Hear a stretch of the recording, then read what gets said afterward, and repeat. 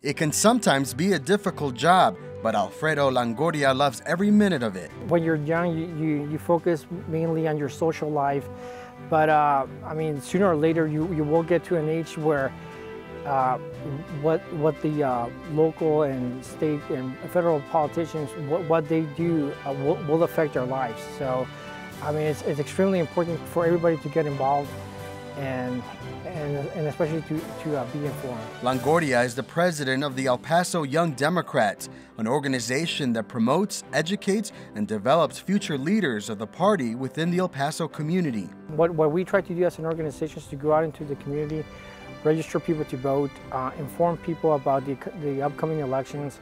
Uh, we, we work with uh, other organizations to, to, to promote voting um, and educate our, our minors who are between the ages of 14 and 17 to, to we, we, we educate them about the importance of voting and, and, and, getting out to vote. Much like the college Republicans at New Mexico State University, these young Democrats help engage other students in politics, something they say could be a bit of a challenge. I think it's easier for them to tell you what's happening with Selena Gomez and Justin Bieber than it is what's happening with President Obama and in Congress.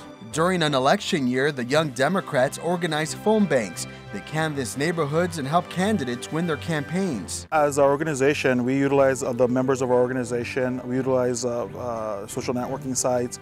Uh, we do a lot of events uh, such as fundraisers, uh, barbecues, you know, paint-a-thons. We do a lot of political activities, community activities, where we educate younger people that are not part of our organizations on what the issues are and uh, what's going on in politics and why they should take a stand. Social networking sites such as Facebook helps the group stay connected. Uh, it is one of the biggest social media uh, tools out there.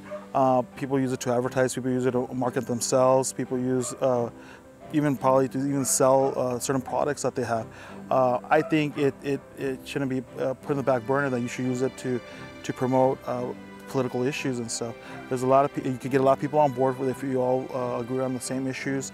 Uh, you could you could voice your message out there to, to you know you're talking millions of people out there, not even people that are not even living in your own district, so you could voice your opinion. You could get input from that also.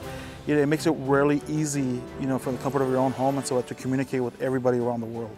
The group uses the site to promote upcoming events, meetings, and stir up conversation on local, state, and national issues. There's a lot of information out there and stuff like that. Your resources are unlimited. It just depends on what what kind of resources you tap into and stuff. You know, there's you have um, uh, media out there. You have a Facebook a posting. You have you have political sites that are out there that you know you have bloggers out there. It's just what what I encourage uh, young voters to do is basically get informed and from them from that point on to make their own decisions so they're not just jump on the bandwagon of what someone else is saying and go with that that certain idea. You know if they have different ideas they should go out and voice it and, and, and you know let people let them be heard. So maybe it, people can make better judgment and better decisions on what what route a certain uh, uh, uh, issue should take